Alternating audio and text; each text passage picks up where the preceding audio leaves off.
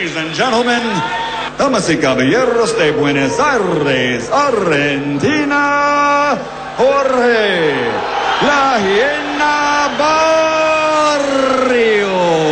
La hiena Barrio se rió de su rival en Miami y consiguió el título Superpluma de la Organización Mundial de Boxeo. No puede descuidarse tampoco por ninguna contra. Anchondo que no quiere más, se deja caer en el suelo. No quiere, más. No quiere más. Ni siquiera tuvo grandeza en la derrota. Es una hiena Barrios que se aprovechó del patético estado físico del estadounidense Anchondo. Se cae solo Anchondo, se caen solo. Había recibido una derecha, pero más allá de eso... Se va el muchacho. Sí, se va el muchacho.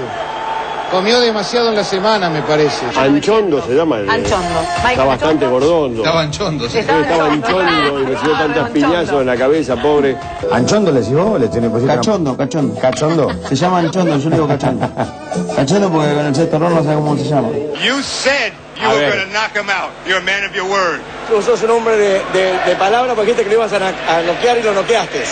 Eh, sí, pero se me escaparon dos rounds. Porque ya he hecho seis y se me fue en cuatro. Los bien no quieren el sexto, pero Cachondo va a aprender a bailar el vals, el tango, todo, porque el primer round va a andar en punta de pie, por todo el ring. Este, va, a pa- va a aparecer la, la cajita de música que cuando la abrís te va a...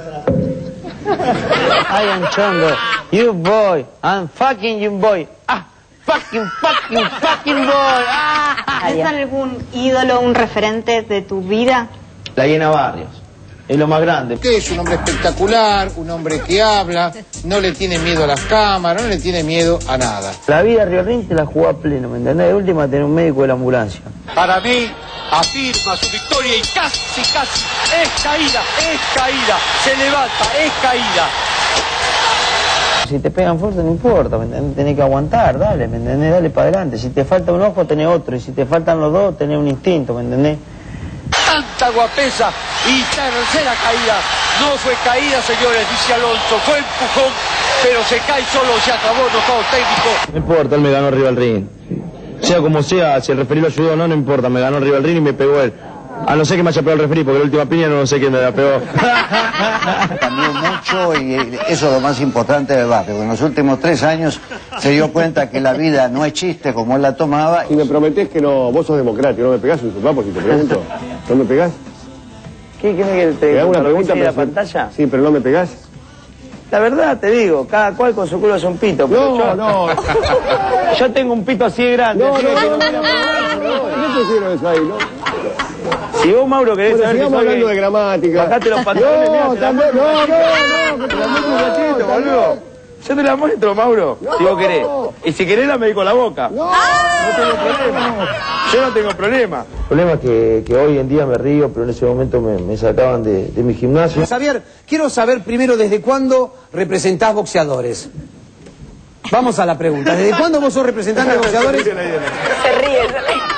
A ver, primero- ¿y cómo, ¿y cómo te organizaste? ¿De qué manera estudiaste esto para convertirte en manager de boxeador? Soy una persona que sabe de números y lo puedo ayudar mucho a él. O sea, sos un contador. Pero primero lo ayudo con el corazón. ¿Cómo lo ayudás con el corazón? ¿Es un tras- afecto. que hace trasplantes? No entiendo. qué- o sea, No, le doy aspecto.